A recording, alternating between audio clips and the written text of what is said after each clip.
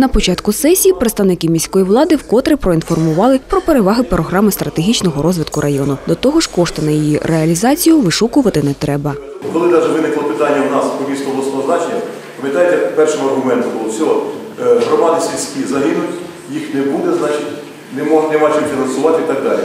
Ми говорили про те, що сьогодні кожен населений пункт, кожна громада має якісь землі запасові введи. А чому не розташовувати там підприємства бюджетоутворюючі, які для кожного села одне підприємство достатньо було, щоб ходило для освіту і на охорону здоров'я, для ФАП і так далі.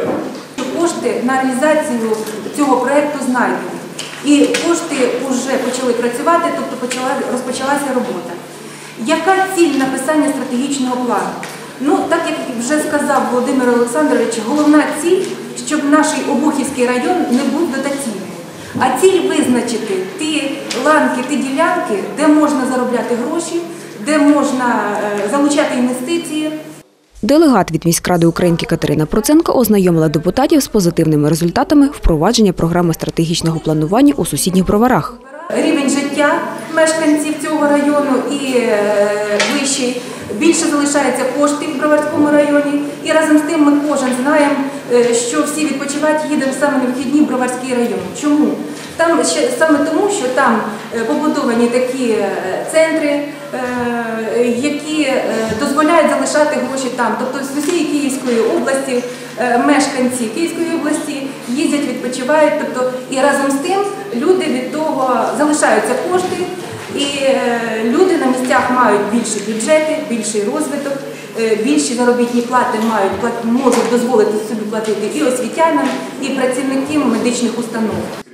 Одним з найважливіших питань в соціально-економічного розвитку територіальних громад є стабільна робота житлово-комунальних підприємств.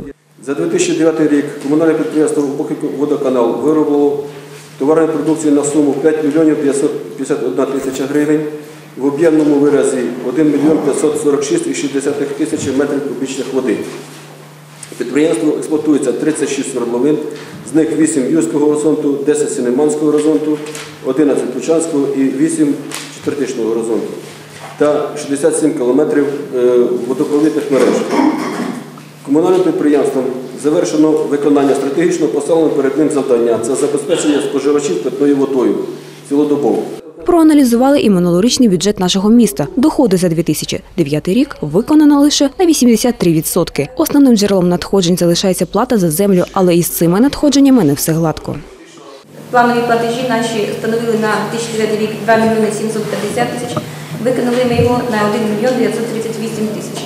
Недоїмки по даному виду податку немає. Вона незначна, е, близько 30 тисяч гривень.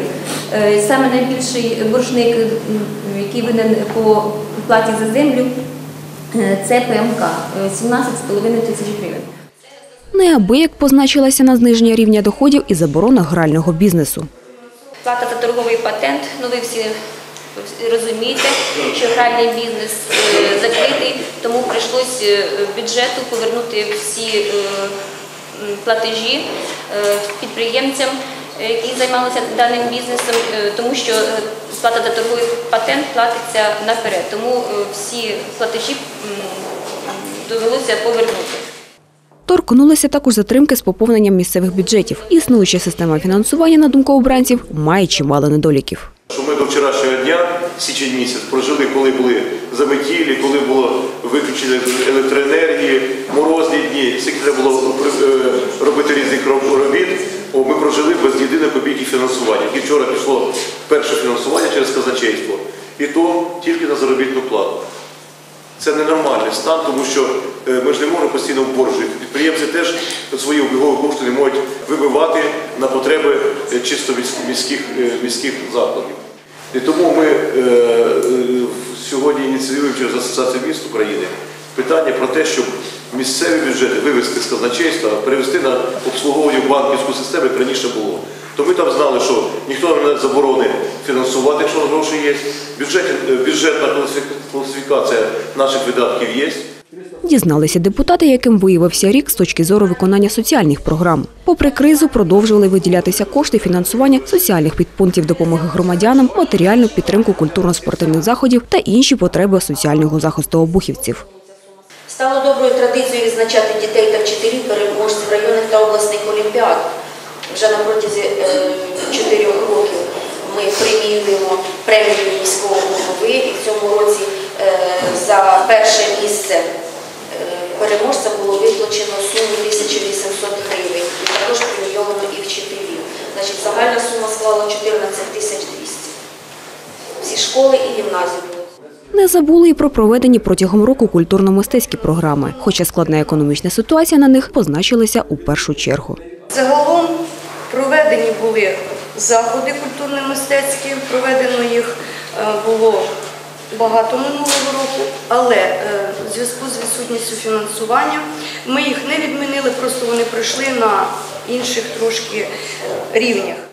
Марина Кочкіна, Олександр Костеніков, студія Барт.